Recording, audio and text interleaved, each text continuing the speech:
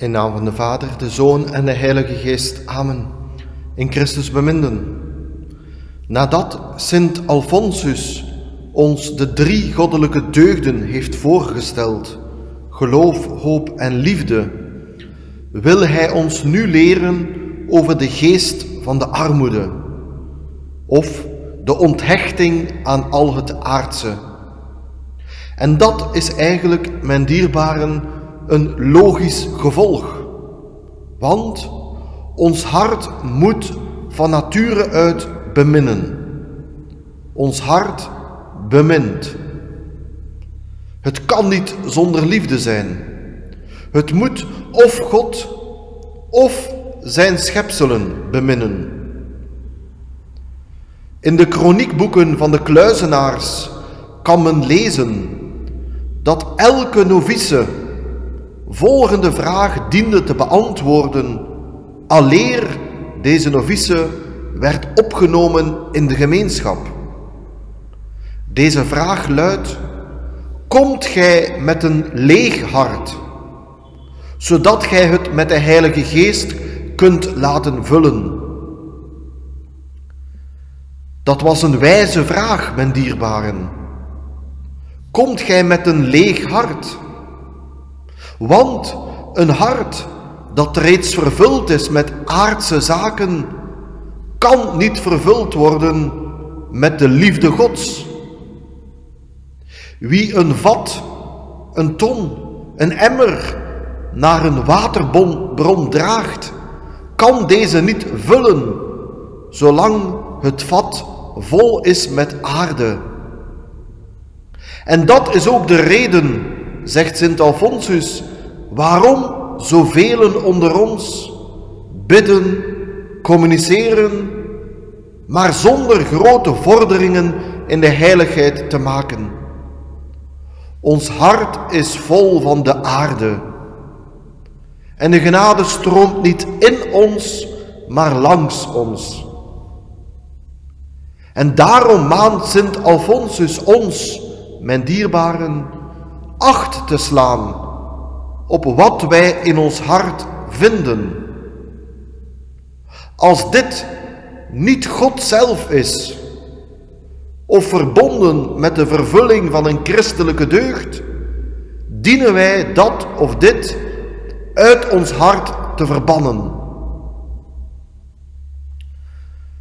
Sint Alfonsus maant ons allereerst de onthechting van de goederen van de wereld te beoefenen. Onze heiland riep uit, zalig de armen van geest, wee u rijken. Merk hierbij op dat onze zaligmaker de armen van geest gelukkig prijst en niet de armen toekoer. Want er zijn veel materiële armen, wiens hart echter wel gesteld is op de aardse dingen.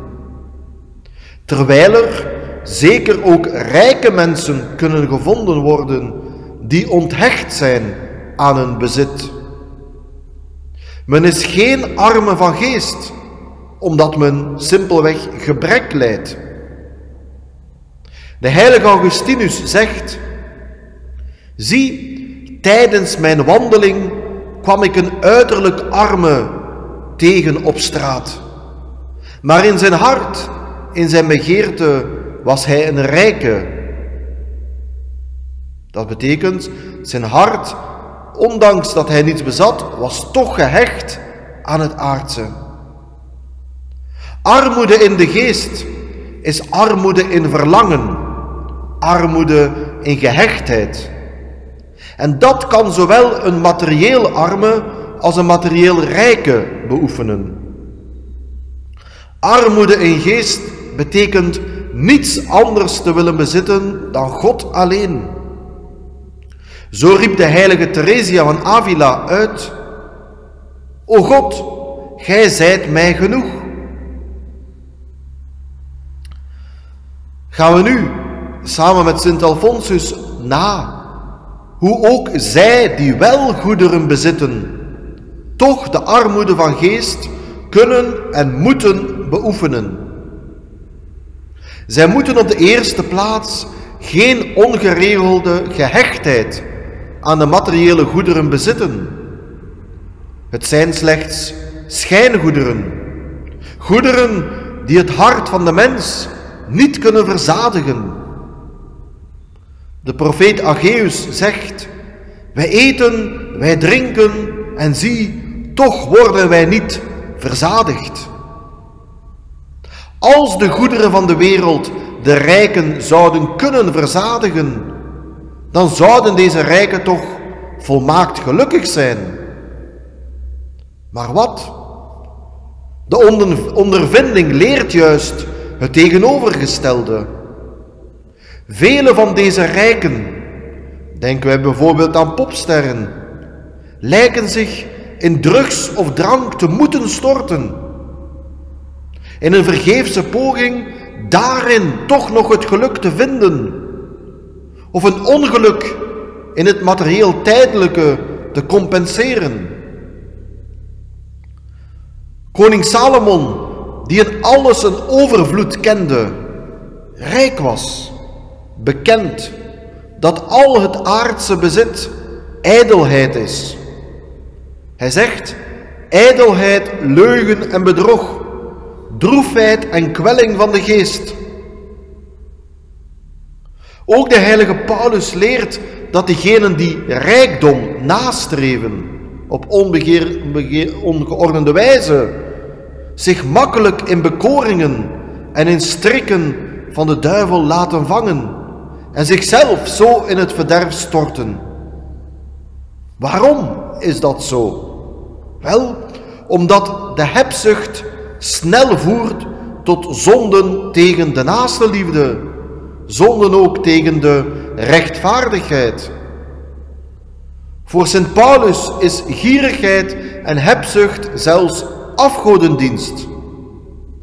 Wij schenken ons hart niet aan die ene God, maar aan de schepselen.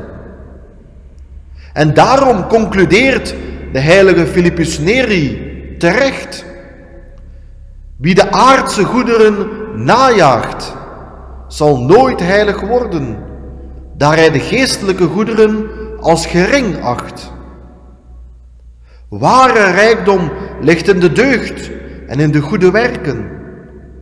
En enkel deze zullen wij meenemen na onze dood, daar zij worden toegekend aan onze blijvende ziel en niet aan ons sterfelijk lichaam. Het lichaam dat met de aardse goederen aan vergankelijkheid zal worden prijsgegeven.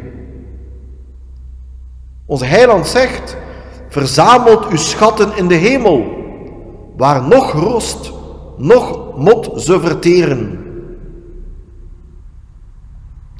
Bij gevolg zijn de rijken in staat hun goederen te gebruiken voor hun eigen zielenheil en voor de materiële en geestelijke welvaart van de naaste. De kerk is dus niet tegen de rijken, want als iedereen even arm is, is er geen zicht op beterschap. Was er op Goede Vrijdag geen rijke Nicodemus, geen rijke Jozef van Arimathea geweest, dan was het nieuwe graf van onze heiland niet het zijne geworden. O gelukkige ruil, roept de heilige Petrus Damianus uit. Wij geven aards slijk, geld, en krijgen er goddelijk goud voor terug, genade en het eeuwig leven. Ten alle tijden zag men daarom vrome katholieken ook eenvoudig leven, om er al dus goede werken mee te kunnen verrichten, met een overvloed van goederen. Armoede van geest kunnen wij verder ook beoefenen in de berusting van Gods heilige wil. Indien ons bijvoorbeeld een materiële tegenslag treft. Wij weten het, niets geschiet buiten Gods toestemming om. Als ons iemand dus berooft, als iemand ons benadeelt, dan wilt God weliswaar deze zonde van de naaste niet maar God willen toelaten tot ons welzijn. Herinneren wij ons aan het Bijbelse boek Job, waarin de heilige man Job, toen hij keer op keer zijn goederen verloor, sprak: God heeft het gegeven, God heeft het weer genomen, de naam van God zij geprezen. En hiermee is ook verbonden dat men de armoede van geest toont indien men juridische processen om aardse goederen vermijdt, indien het mogelijk is. Beschouwen wij nu enkele middelen die wij kunnen aanwenden om ons hart van aardse goederen te onthechten. Het eerste middel is vaak te denken aan onze dood. Onze sterfdag is de dag van het verlies. Wij mogen bij gevolg nooit aardse goederen als onze goederen bestempelen. Want dat is zeker. Ze gaan over in het bezit van iemand anders. Beginnen we dus nu reeds ons bezit te verdelen, ze in onze ouderdom reeds weg te schenken. Een tweede middel is vaak de daadwerkelijke armoede van Christus te overwegen. Sint Paulus leert in zijn brief aan de Corinthiërs hoe Christus is arm geworden, ofschoon hij rijk was. Christus ontzegde zich de glorie van de hemel en hij wilde ons een voorbeeld geven vanaf zijn geboorte in de kribbe tot zijn dood aan het kruis. Als christenen dienen wij Christus na te volgen en ons geluk in het geestelijke te zoeken. Wezen wij dus gematigd in het gebruik van materiële goederen? Doen we niet mee aan die consumptiecultuur? Verlengen we de levensduur van onze kleding, onze elektronica? Bestrijden wij in ons de dwang altijd iets nieuws te moeten kopen? Brengen wij dagelijks twee of drie offertjes in zaken die ons comfort vermeerderen? Bijvoorbeeld, ontzeggen wij ons het gebruik van de lift? Of elektrische toestellen die handwerk vervangen, bijvoorbeeld in de keuken of in de tuin? Armoede van geest bestaat dus allereerst in de onthechting van de materiële goederen. Maar ten tweede spreekt Sint Alfonsus ons ook over de onthechting aan de eerbetuigingen van de wereld. Dit betreft de zorg om erbij te horen, om iemand belangrijk te zijn. Wie God bemint, wil dat niet. Het enige streven is aan God, het object van onze liefde, te behagen. Handelen of spreken wij niet, mijn dierbaren, om door de mensen geëerd te worden. De heilige Franciscus van Assisi, hij sprak, ik ben slechts dat wat ik voor God ben. En dat is ware wijsheid. De wereld zal de katholieken altijd als gekken beschouwen. Dat zal nooit anders zijn. Wees we er dus ook niet om bekommerd. Neem ons dus voor, bijvoorbeeld, onszelf kloekmoedig als katholiek te beleiden. Wetende dat onze kennissen of vrienden ons een beetje of geheel scheef zullen aankijken. Dat is geest van armoede, de geest van onthechting aan de eerbetuiging aan de wereld. Armoede van geest betekent ook niet halstarrig aan de eigen mening, aan de eigen wil vasthouden. Excuses kunnen aanbieden, vernederingen aanvaarden, advies vragen. Dat alles, mijn dierbaren, is ook onthechting van onszelf. Armoede in geest. Naast onthechting van de aardse goederen, eerbetuiging van de wereld, moeten wij ten derde ons ook onthechten aan de mensen. Deze onthechting bestaat er niet in niemand te beminnen, maar dat men deze vriendschappen regelt volgens Gods wil, zodat deze vriendschappen, deze menselijke relaties aan God welgevallig zijn. Wij dienen ons van personen te onthechten, indien zij ons van God verwijderen, of ons streven naar de volmaaktheid doen verwaarlozen of vertragen. Onze lieve Heer heeft ook verklaard dat degene die al te nauw en al te zeer aan zijn verwanten, zijn vrienden gehecht is, niet zijn leerling kan zijn. Het kan voorkomen dat de jongen een meisje tegen familie of vrienden moet ingaan als God hem of haar roept tot een geestelijk leven, tot het priesterschap, tot de religieuze staat.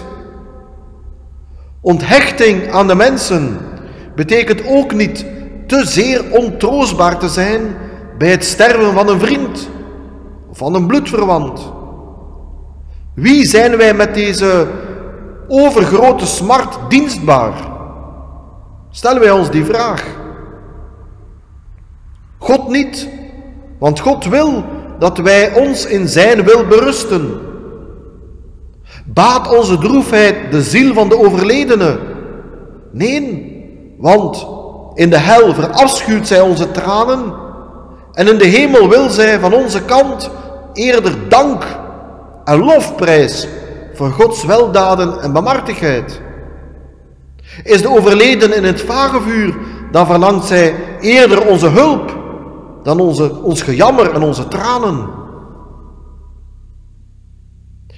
Ten slotte betekent armoede in geest ook de erkenning van de eigen afhankelijkheid tegenover God in alle zaken, zowel op geestelijk als materieel gebied. God is de gever van al goed. Van God moeten we alles hopen te verkrijgen. Bouwen we dus niet op onze eigen kracht, op onze eigen goederen, op onze eigen wil. Aan Gods zegen is alles gelegen. Zo mijn dierbaren, dan sluiten wij deze overweging vandaag af met een voornemen ons te controleren in deze vastentijd. Of ook in deze vastentijd daadwerkelijke pogingen te doen om ons van de gehechtheid van bepaalde goederen, bepaalde personen, etc. te ontdoen. Dat is belangrijk, want we kunnen slechts of God of de schepselen volledig dienen. We kunnen geen twee heren dienen, geen twee heren beminnen. En vragen wij onze lieve vrouw hiervoor het nodige inzicht en de nodige genade.